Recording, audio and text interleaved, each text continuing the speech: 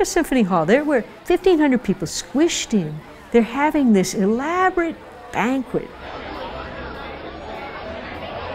Thinking about logistically how to do this and how to set up receivers, I can't imagine what it would have been like to have all these wires strewn all around Symphony Hall. So this had to have a spectacular MIT feel. There was a band playing, apparently there was so much noise and activity and chattering, you couldn't really hear the band. But if you really think about the scene, not just the cheers and the noise, but the wires and the nail biting and the finger crossing, like, is this going to work? There was nothing like this.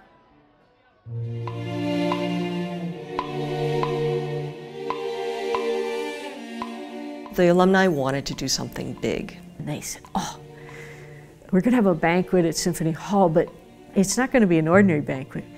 One of the members of our corporation is Theodore Vail, the president of American Telephone and Telegraph Company. And Vail thinks, well, let's link the alumni together from around the country. We'll do this with a complicated telephone circuit. The challenge was to make sure that everybody was connected. You didn't have people sort of all huddling around one single receiver. The telephone was a novel technology. You didn't have telephone lines all over the country the way you do now.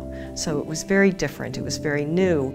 It's a very impressive display of technology. And it was scripted because if this telephone concept was to work, it had to start at exactly 7 o'clock. At the end of the meal, they would have had silence as they called each of the clubs. The switch goes on, and all of a sudden you start to hear they check in with these clubs. Hello, New York. This is New York. Walter Large speaking. How many have you there with you, Mr. Large?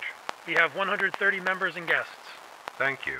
And it goes on New York, Schenectady, Syracuse, Rochester, Buffalo, you know, all across the United States. They actually had a listing of who they were calling when, so everybody was poised, ready to answer the telephone so that they could participate in this event. Can you imagine? I mean, you know, it, it's not like these switches just existed or boxes or something. You know, you had to invent all this, bring it all in, bring the systems in, you know, glue it together. And, and that it worked more or less?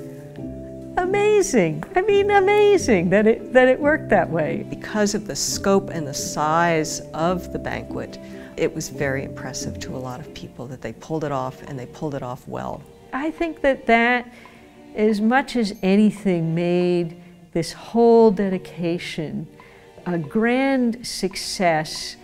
And it also said, and now great things are expected of us, and we have to deliver.